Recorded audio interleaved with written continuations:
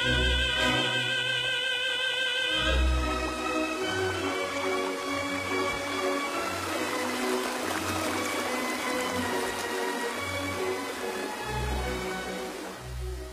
the Vatican.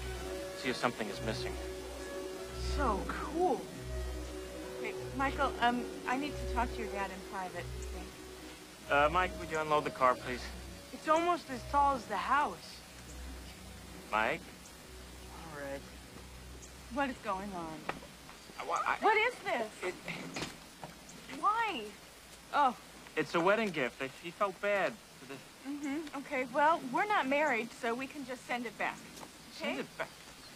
I- It was not my fault. I mean, everybody was there. We were ready to go. You didn't want to go ahead with the ceremony. Well, what did you expect? That's not what I want for an anniversary memory.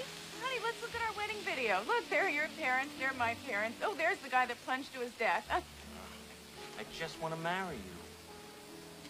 I'm starting to think that's never gonna happen. Of course, it's happening next Saturday at the Waldorf. And who's gonna be there?